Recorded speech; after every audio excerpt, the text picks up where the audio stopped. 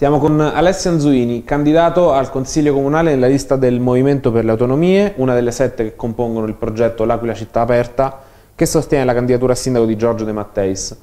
Per lei prima candidatura eh, al Consiglio Comunale, perché questa scelta?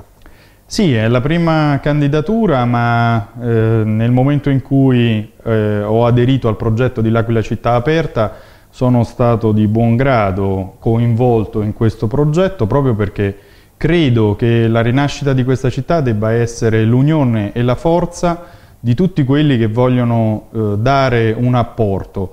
A seconda di quella che è la propria professionalità, la propria serietà e soprattutto con il momento anche drammatico che sta vivendo eh, la politica e la sfiducia soprattutto da parte dei cittadini, eh, forse prima di aderire a questo progetto, prima che Giorgio De Matteis riuscisse a fondare eh, questa idea nuova di politica, ero anch'io tra gli sfiduciati eh, perché vedevo che eh, non, non, si riusciva a trovare un, uh, un, un discorso plausibile e soprattutto eh, chi amministrava era distaccato da quelli che erano i problemi reali.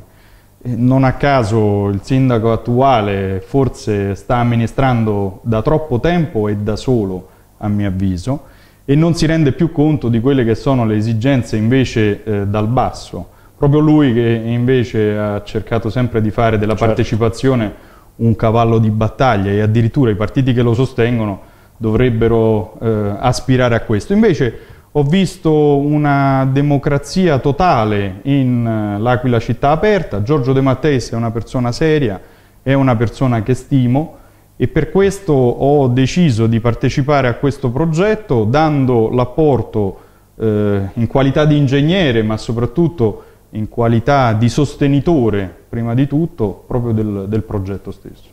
L'ha detto lei, c'è sfiducia dei cittadini da, eh, verso la politica.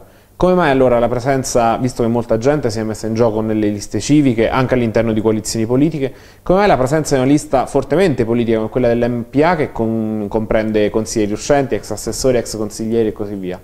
Guardi, io penso che la politica debba essere scardinata dalla politica.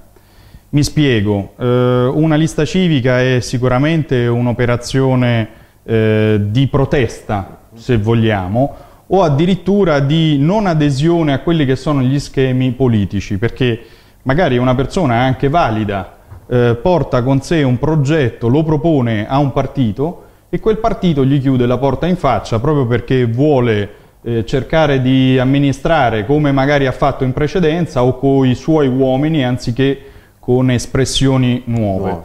Quindi quello che io sostengo è sicuramente eh, va dato un grande plauso alle liste civiche che sono per esempio concorrenti anche con noi all'interno di L'Aquila Città Aperta, però penso che eh, bisogna intervenire all'interno dei partiti stessi per cercare di fare in modo che la serietà eh, pervada, deve essere quasi un virus, che le persone serie si mettono eh, diciamo, insieme proprio all'interno dei partiti per ridare credibilità al partito e soprattutto, come diceva lei, eh, la politica deve servire alla gente, non è più, bisogna cercare di fare una rivoluzione un po' copernicana. Mm. Eh, per adesso purtroppo la politica si è avvalsa dei cittadini per fare non è magari... semplice cambiare le carte.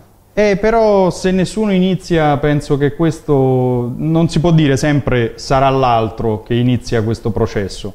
Ecco perché mi sono schierato direttamente, ho scelto diciamo, di aderire all'MPA con onore e soprattutto con eh, massima disponibilità.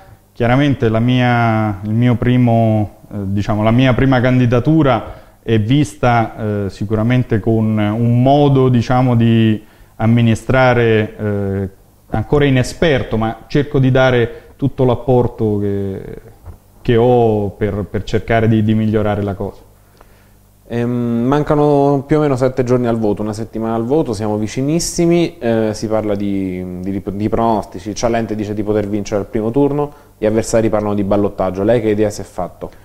Guardi, eh, lei l'ha detto forse indirettamente nella sua domanda, eh, mancando così poco tempo, Cialente all'inizio di questa campagna elettorale quando addirittura non, diciamo, non si sapeva neanche che Giorgio De Matteis eh, scendesse in campo, aveva detto che stravinceva le elezioni. Poi a un certo punto, un mese dal, dall'inizio della campagna elettorale, addirittura stava al 51%.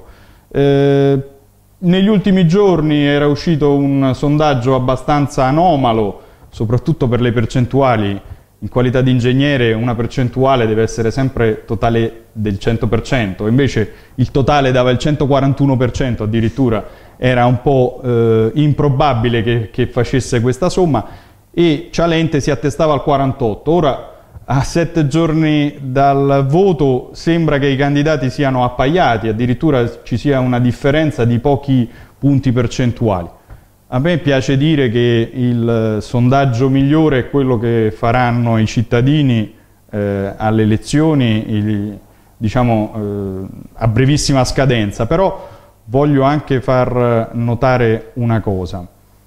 Eh, io ho fatto parte dell'ufficio stampa del, del, precedente sindaco di Biagio Tempesta, certo. in qualità di professionista perché ho svolto anch'io eh, diciamo, il ruolo del, del, giornalista in passato. E eh, la cosa che voglio sottolineare, che mi è dato diciamo, da pensare, è che il sindaco uscente, e in quel, in quel momento Tempesta, aveva dato i dati della sua amministrazione, cioè quello che nel eh, periodo in cui egli avesse, governato. Eh, aveva governato, i, i dati numerici, così che i cittadini potessero verificare con i dati alla mano quali erano le proposte, gli obiettivi raggiunti. Io ho purtroppo una grande delusione dal, dal sindaco Cialente, quella di non aver visto neanche una brochure indicativa, ma eh, su tutte le pubblicità e anche in questa campagna elettorale usa sempre il futuro, faremo, diremo. Pensa di continuare? Eh, sicuramente se ho letto oggi un, un cartellone, il sindaco c'è. Sì, il sindaco c'è, ma ahimè, per Massimo Cialente il sindaco è Giorgio De Matteis.